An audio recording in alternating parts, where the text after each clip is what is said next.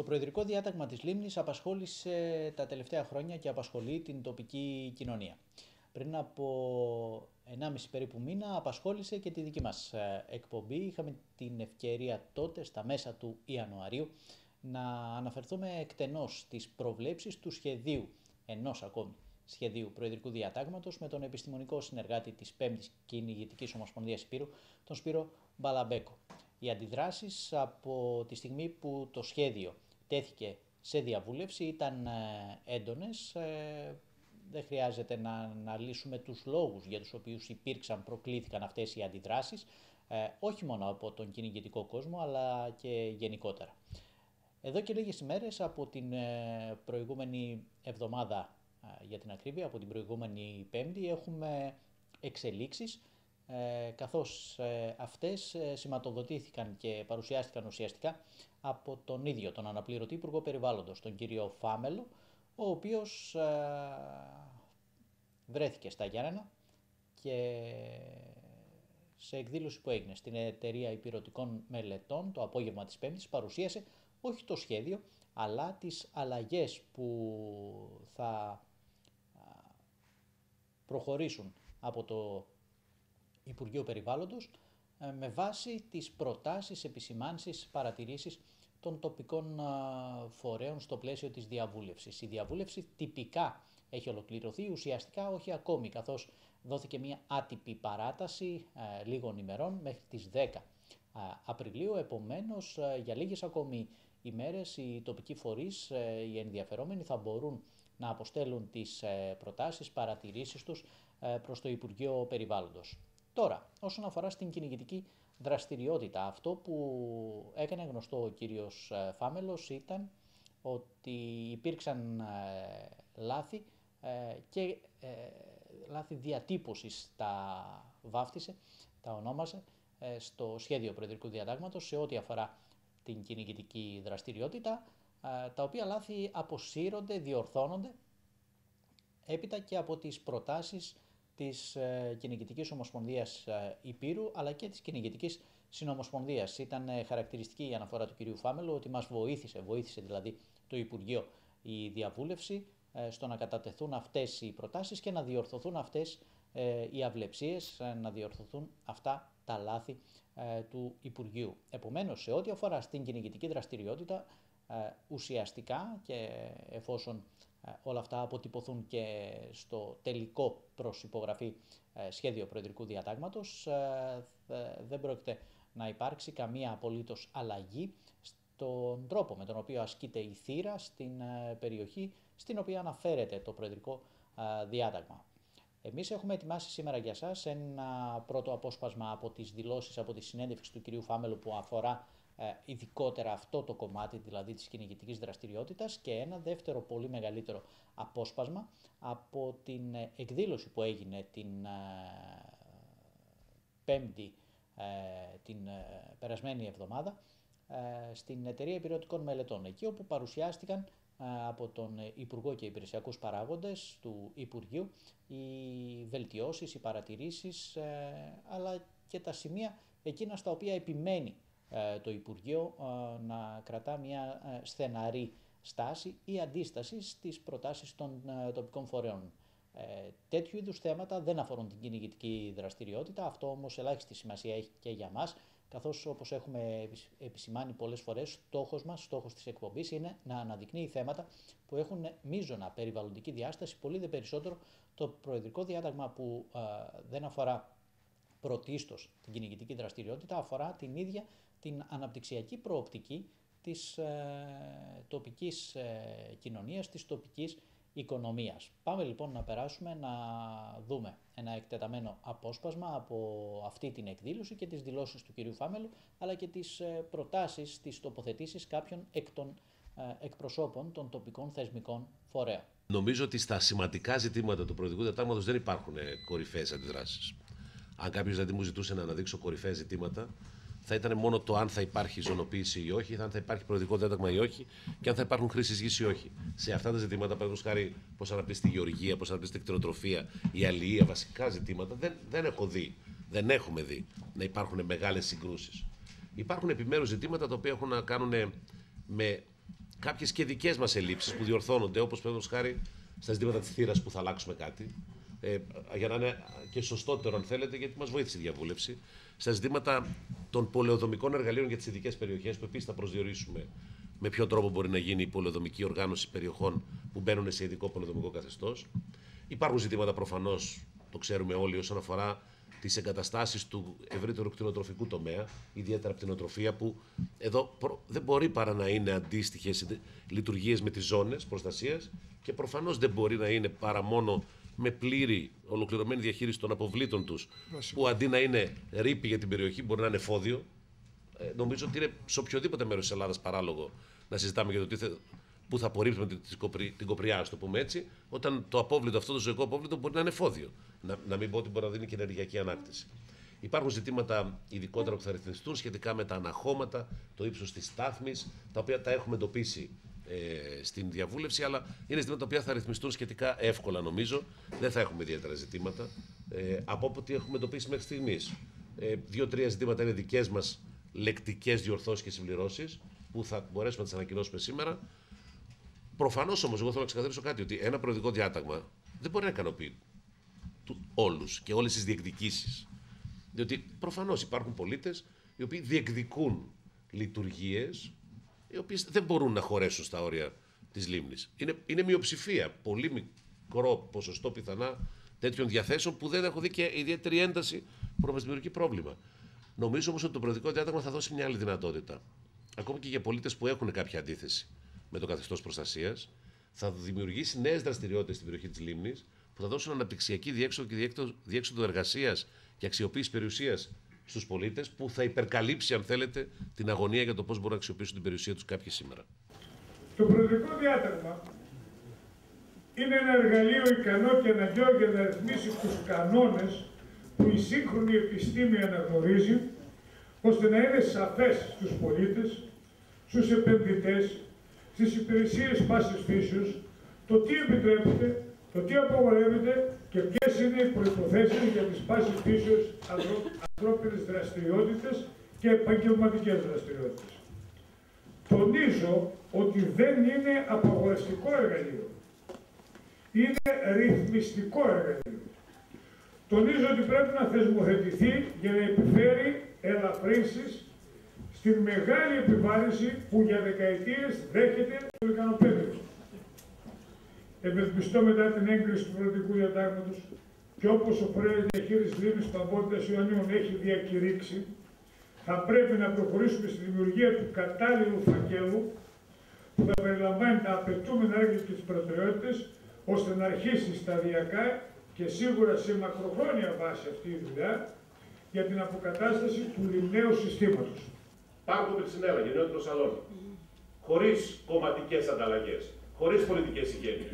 Η απόφαση της κυβέρνησης ήταν ναι, πρέπει να λυθεί αυτό και να πάει στο Δήμο. Δεύτερο ζήτημα. Το ευρύτερο δίκτυο αποχέτευσης και η επέκταση του κοινωνικού καθαρισμού για όλο τη λεκάνη και το λεκανοπέδιο. Ήταν πολιτική επιλογή, το συζητήσαμε στο αναπτυξιακό συνέδριο και ενημερώθηκα από τον Δήμαρχο ότι προχωράει και προχωράνε συμβάσεις και είναι κάτι το οποίο θα γίνει πραγματικότητα για την περιοχή. Αυτό δεν είχε κομματικό αντάλλαγμα, δεν είχε κομματικές και πολιτικές αφετηρίε, γιατί κάποτε οι τακτοποιήσεις αυτές γινόντουσαν με βάση το τι ψήφιζε ο κάθε δήμαρχος και ο περιφερειάρχης. Το ξέρουν και ο περιφερειάρχης και ο δήμαρχος ότι δεν έβαλαν τέτοια ζητήματα και αν διαφώνησαν ποτέ μαζί τους ήταν σε βάση άποψης και όχι στη βάση αφετηρίας άλλου τύπου. Το ίδιο προσπαθήσαμε να κάνουμε και σε άλλους τομείς. Στην περιοχή υλοποιείται και περιμένουμε και εμείς να ξαναέρθουμε για τα εγγένεια της μονάδας επεξεργασίας απορριμμάτων. Μια σύγχρονη μονάδα που ενοποιεί τη διαχείριση επίπεδο περιφέρειας, αλλά προσέξτε, δεν αλλάζει την υποχρέωση του κάθε Δήμου να κατακτήσει στόχους 50% στην ανακύκλωση και στην επαναχρησιμοποίηση και στην κομποστοποίηση.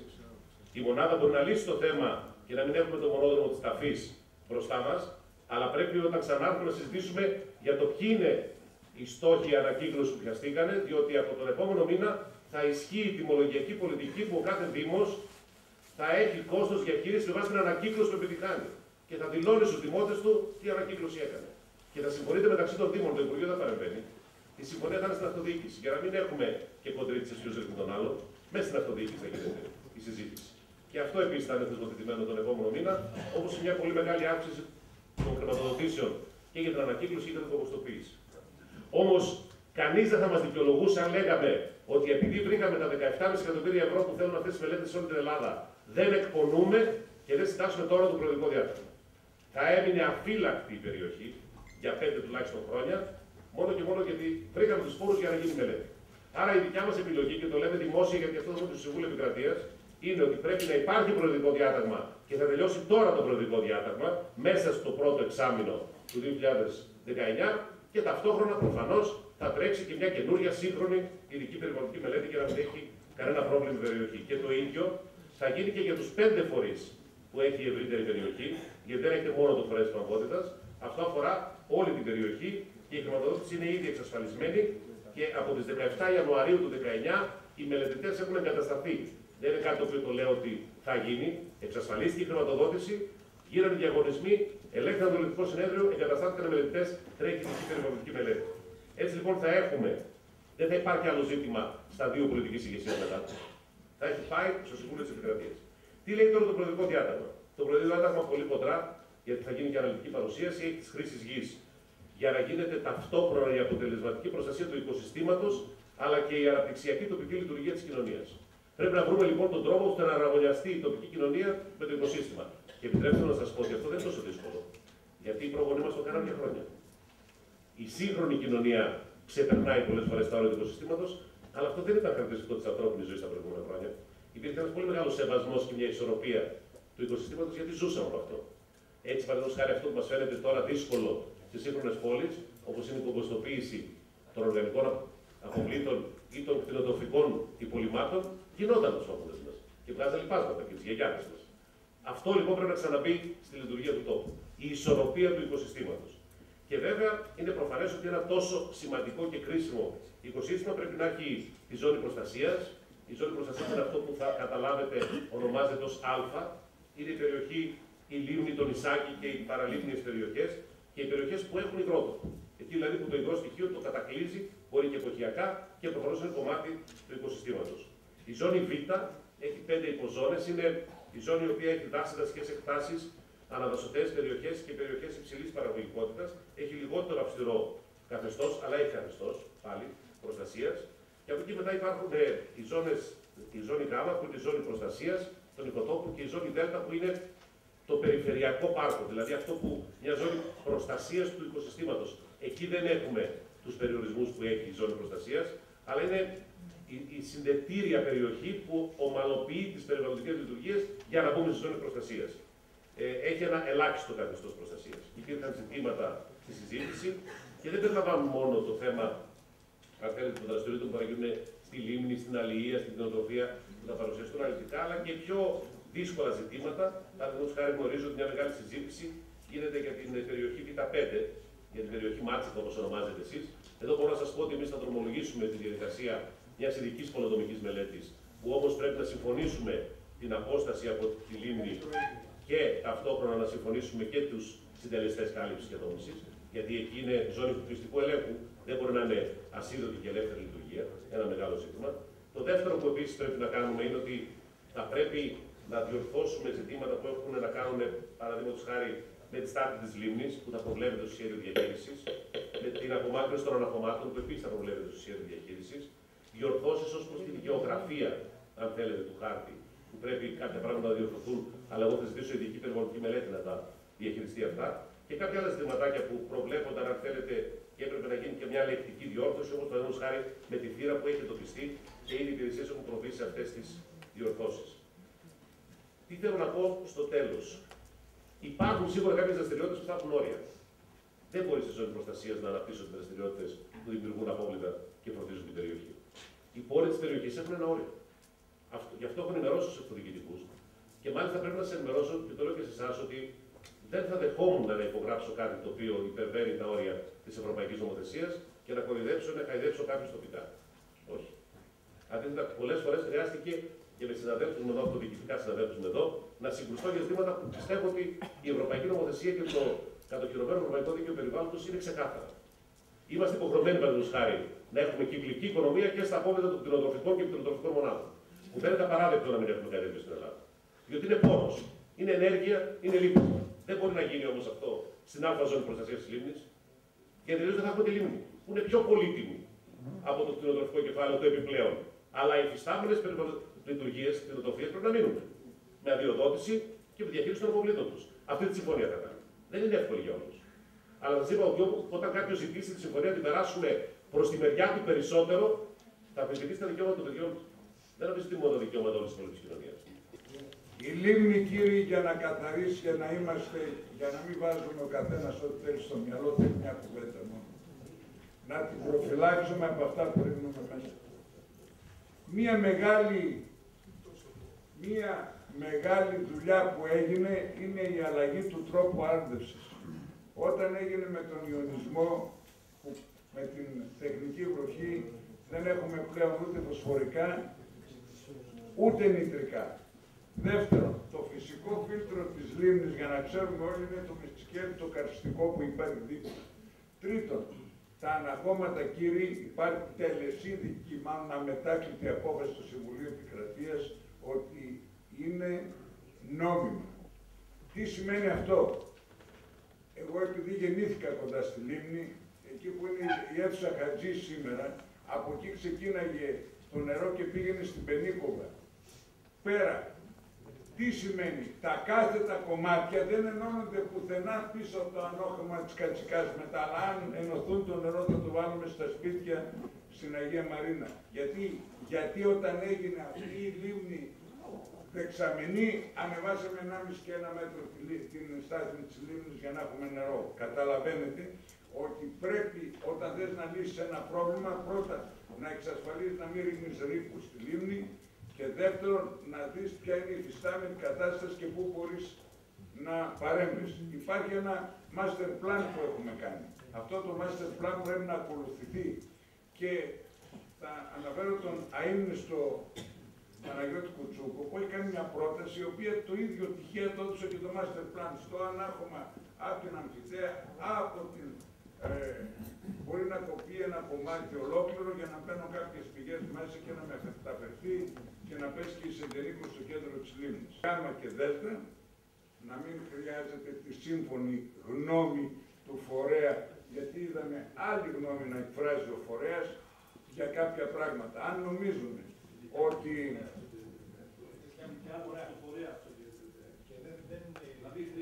ναι, αλλά εγώ άκουσα άλλη πρόταση εδώ. Εντάξει, αλλά αυτά πρέπει να ξεκαθαριστούν. Το, ε, κοιτάξτε, εγώ, ένα λεπτό, εγώ ξεκαθαρίσω, δεν, είναι, δεν υπάρχουν μυστικά πράγματα. Επίσης, ε, είναι πολλά πράγματα που έχουν δουλευτεί αρκετά. Η Επιτροπή που δουλεύει έρχεται κάθε μέρα ε, πιο κοντά στην πραγματικότητα για να λύσει το πρόβλημα. Δεν είδα να έχουμε τεράστιες διαφορές εδώ. Η θερμοθέτηση των προστατευόμενων περιοχών και η εφαρμογή των σχεδίων διαχείρισης για όλες τις περιοχές της Natura 2000 αποτελεί σίγουρα ένα σημαντικό βήμα για την ολοκλήρωση του ισχνού εφιστάμενου θερμικού πλαισίου προστασίας, το οποίο έχει θέσει αφενός τη χώρα πρώτων ευθυνών της, αφού ήδη η Ελλάδα βρίσκεται σε προδικαστικό στάδιο με την Ευρωπαϊκή Επιτροπή λόγω της έλλειψης πλαισίου προστασίας, και αφετέρου τις τοπικές κοινωνίες σε ένα δεδαλώδες τοπίο άτυπων χρήσεων γης, καταπατήσεων και προταξικών παντρεμηνεύσεων. Για να είμαστε λοιπόν ξεκάθαροι, ο λόγος που είμαστε εδώ σήμερα είναι γιατί το πίδελτα της λίμνης το θέλουμε. Σαν δημοσιονομητών πιστεύουμε ακράδαντα πως το επίπεδο του περιβαλλοντικού σχεδιασμού είναι αναγκαίο και απαραίτητο. Πιστεύουμε επίσης πως κανένα άλλο επίπεδο σχεδιασμού δεν πρέπει να προηγείται του περιβαλλοντικού. Τίθεται όμως ένα ζήτημα. Έτσι ξεκίνησα βέβαια με τα λεγόμενα ως Υπουργεία, βέβαια έχει αλλάξει λίγο το περιεχόμενο της εισήγησης μου, πρέπει να αλλάξει γιατί βάζω ένα ερώτημα ποιο πιδέλτα συζητάμε σήμερα.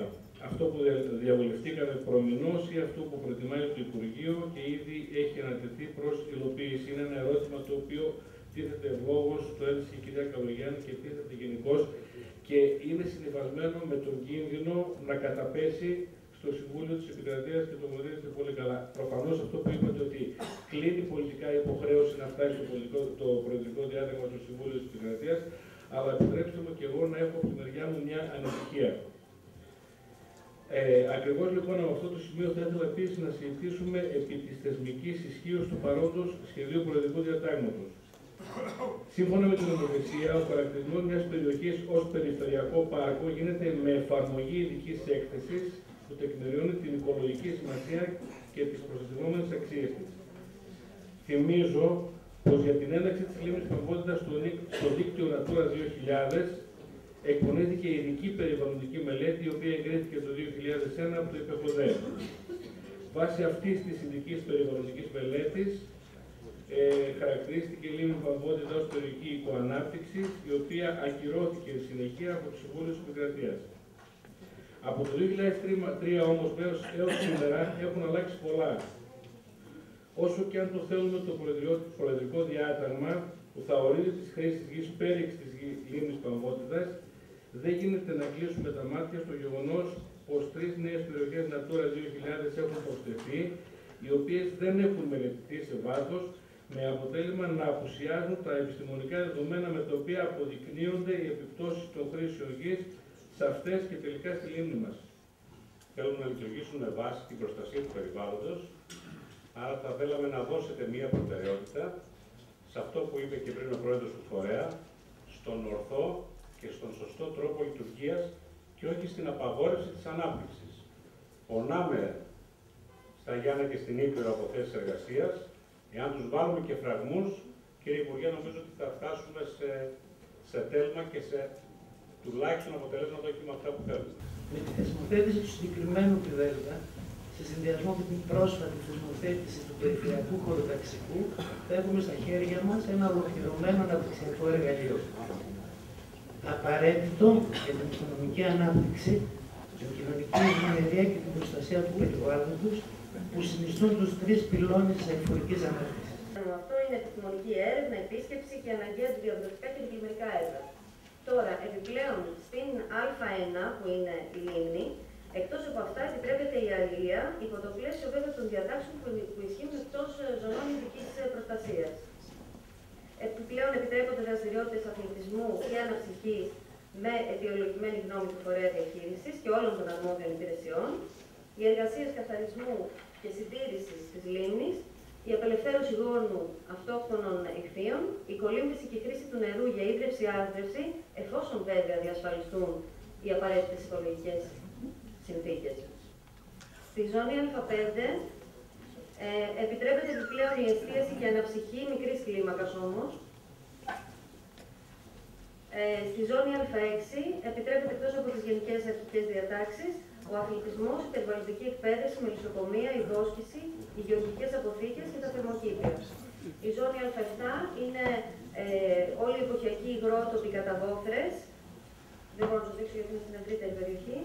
Ε, όπου εκτός από τα γενικά επιτρέπεται η γεωργία και η δόσκηση. Και επίσης εδώ πέρα, μάλλον δεν ήταν κατανοητό έτσι όπως είναι γραμμένο στο περιοδικό διάταγμα και θα διευκρινιστεί. Προφανώς ορίζεται μία buffer zone, μία περιφερειακή ζώνη ε, γύρω από αυτούς τους υγρότοπους καταβόθρε, προκειμένου να διασφαλιστεί η προστασία τους. Ε, πάμε στη ζώνη Β1, ε, όπου διακρίνουμε ε, δάση, δασικές εκτάσεις, αναδασωτές, περιοχές και όσες δεν είναι σε αυτές τις δύο κατηγορίες. Ε, στις δασικές εκτάσεις επιτρέπεται ο αθλητισμός, η περιβαλλοντική εκπαίδευση, η μελισσοκομεία, η βόσκηση, η γεωργία, η δασοκομεία, Στις ε, αναδασωτές περιοχές ισχύουν τα ίδια, ενώ στις υπόλοιπες περιοχές επιτρέπεται επιπλέον ο αγροτουρισμός, κτίρια κατοικία και δημόσιες εγκαταστάσεις.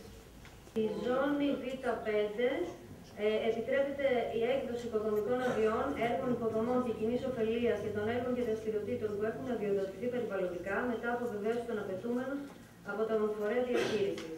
Για την έκδοση νέων οικοδομικών αδειών για την ανέγγιση κτηριακών εγκαταστάσεων προτείνεται ειδική πολεοδομική μελέτη σύμφωνα με τις σχετικές ρυθμίσεις του χωροταξικού και πολεοδομικού σχεδιασμού, λαμβάνοντας βέβαια υπόψη και τις σχετικές διατάξεις του Προεδρικού Διατάγματος και του Σχεδίου Διαχείρισης της περιοχής.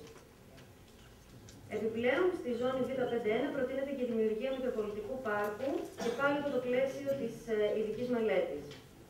Διευκρινιστεί ότι αν οι μονάδες κτηνοτροφία διαχειρίζονταν τα απόβλητά τους όπως προβλέπεται από την νομοθεσία, δεν θα υπήρχε κανένα απολύτως πρόβλημα. Δυστυχώς όμως εντοπίζονται μονάδες που δεν έχουν τις απαιτούμενες υποδομές διαχείρισης, κοπροσοδού, βόθρου κλπ. και δυστυχώς ακόμη και μονάδες που έχουν ολοκληρώσει τις υποδομές δεν τις χρησιμοποιούν για να μειώσουν το κόστος. Οι εικόνες σαν αυτές που βλέπετε είναι συνήθεις στο λεκανοπέδιο και βλέπετε εδώ και την ε, καταγραφή που έχει γίνει πρόσφατα πριν από δύο μήνες στην περιοχή του κάμπου Λοκάδων Βασιλικής.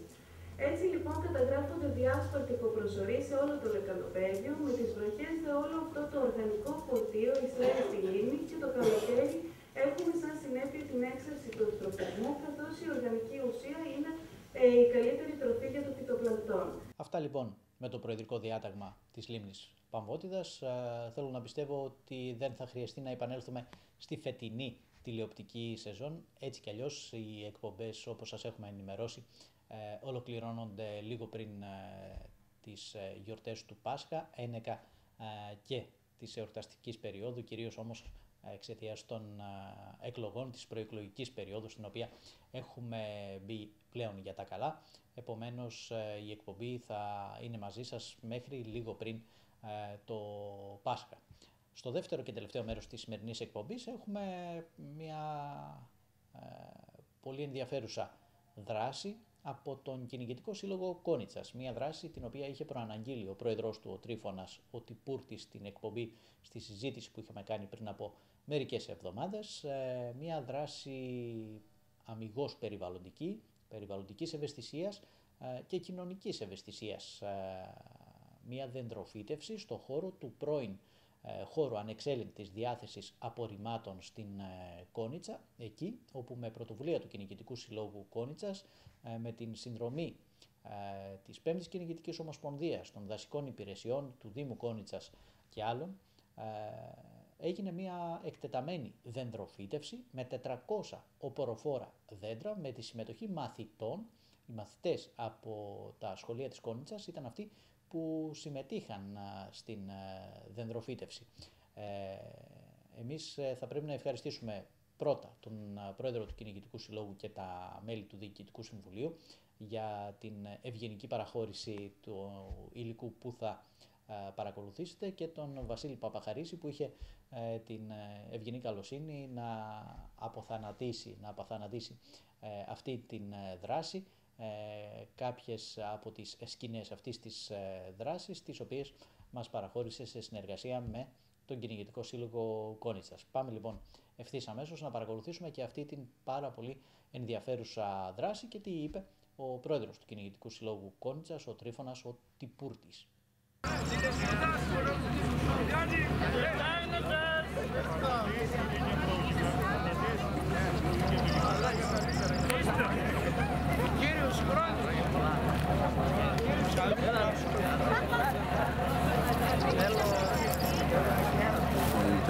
Πού ρε, να.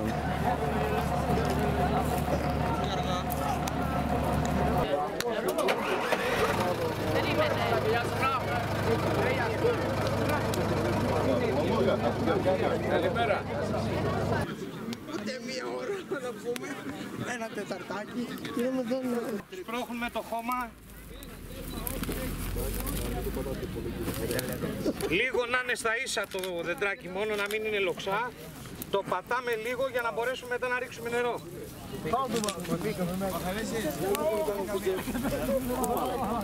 Εντάξει, αυτό, τίποτα άλλο. Πάμε πέρα πέρα. Πάμε προς τα δω. Βάζουμε το δέντρο μέσα, σπρώχνουμε το χώμα και το πατάμε λίγο με τα πόδια, τίποτα άλλο. Δείξε μας λίγο. Βασίλη, Σπύρο, εδώ. Κορίτσια δεν βάζουμε εκεί. Περίμενα να έρθει ο Εδώ, εδώ, εδώ, όλοι από εδώ με τη σειρά. Έτσι, Ρίξτε όσο περισσότερο χρόνο. Για να δούμε. Φωτογράφε, έλα και από εδώ. Κορίτσια, καθίστε κάτω. Θα ρωτάτε πριν βάλετε το δέντρο μέσα στην τρύπα. Κάποιο υπεύθυνο. Ριετά. Εδώ πάρουμε ένα κοντινό. Δεν το βάλω.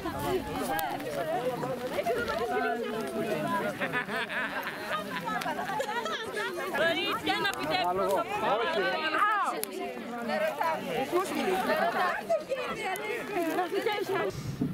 Σήμερα εδώ ε, ο Κυνηγητικός Σύλλογος Κόνιτσας έκανε μια περιβαλλοντική δράση κάναμε μια δεντροφύτευση 400 οποροφόρων δέντρων, μιλιές, αχλαδιές, κερασιές και δαμασκηνιές. Ε, το μοτό ήταν ε, μετατρέπουμε τα σκουπίδια σε όαση για τα ζώα. Όπως βλέπουμε στα πλάνα ε, είναι πρώην χαδάγα της Κόνιτσας. Ε, έγινε αποκατάσταση του σκουπιδότοπου και εμείς λοιπόν σήμερα φροντίσαμε να κάνουμε αυτή τη δεντροφύτευση ώστε σε, στο εγγύς μέλλον να έχουμε εδώ πέρα αντί για τα σκουπίδια δέντρα.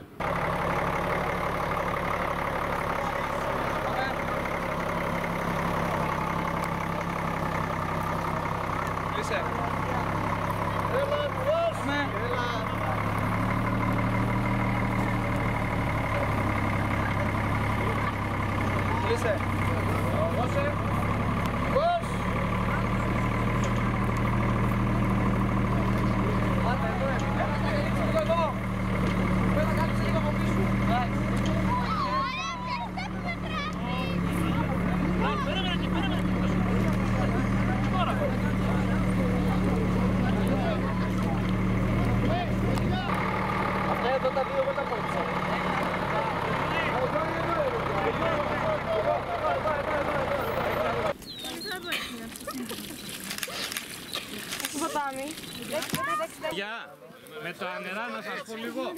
Να τα πάρουμε με τη σειρά, να μην αφήσουμε από πίσω. Ναι, ναι. Γεια σου Μπίλη. Του βγάζει, το δείξει. Κοίτα τώρα το ποτάμι, σηκωθείτε. Έλα πάμε.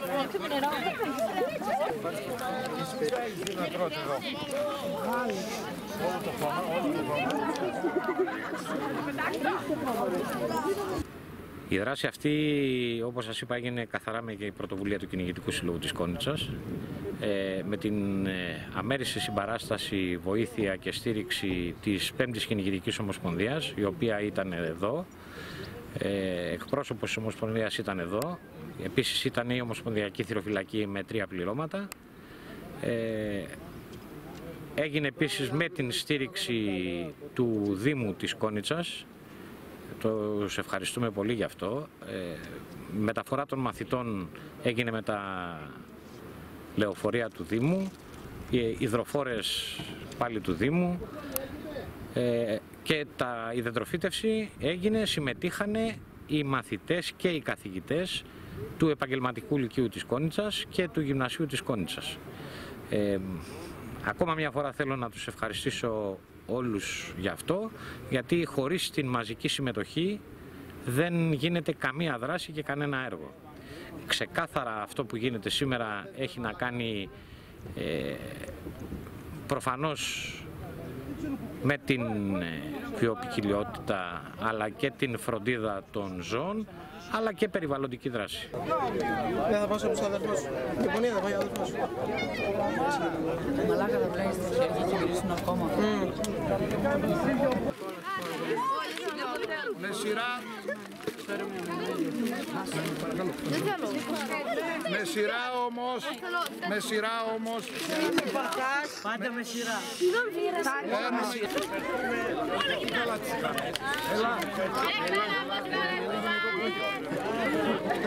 Έλα, δεν χάλαμε τις γραμμές, ε! Ε! Μη χαλάτε τις γραμμές. Έλα. Χάρη. Το έχεις. Καρτάκι όχι κάτω, έχουμε σακούλα απορριμμάτων. Κύριε Ευγένεια. Έτσι. Ορίστε. Έλα. Μπράβο. Έλα, επόμενος εδώ. Μπράβο, μπράβο. Φύγε. Φύγε. Ωραίος.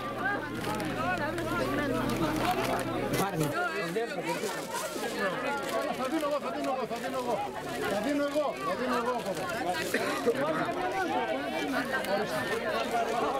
Αυτή η δράση που βλέπετε σήμερα όσο αφορά την ε, αγορά των δέντρων, την μελέτη για τη δεντροφύτευση αλλά και, την, ε, και τις εργασίες, δηλαδή τα ανοίγματα που γίνανε για τη φύτευση των δέντρων έγιναν από την 5η Κυνηγητική Ομοσπονδία και φυσικά υπήρχε και ιδιωτική πρωτοβουλία ως χορηγία. Ε, μας δόθηκαν από, τον, ε, από το εργοστάσιο Βίκος αναψυκτικά και χυμή για τα παιδιά που συμμετείχαν, για τους μαθητές και ε, από τα τοπικά καταστήματα της Κόνιτσας ε, δύο σούπερ μάρκετ και ένα αρτοπείο. Είναι τα σούπερ μάρκετ των αδελφών Χατζευρημίδη και αδελφών Νικολόπουλου και το αρτοπείο του Ανδρέα Τζιάλα, το οποίο και οι τρεις μαζί κάνανε τα νερά και τα σάντουιτς για τα παιδιά. Εκ μέρους του ΔΣ αλλά και όλων των μελών του Κυνηγητικού Συλλόγου θέλω να τους ευχαριστήσω. Αν μη τι άλλο είναι κινήσεις που δείχνουν αμέριστη αλληλεγγύη και συμμετοχή ε, και όπως καταλαβαίνετε αποφεύγουμε από το εισόδημα του κάθε κυνηγού μέλους να χρησιμοποιούμε χρήματα από τους ίδιους έτσι ώστε να μπορούμε να μας μένουν για να κάνουμε και άλλες δράσεις.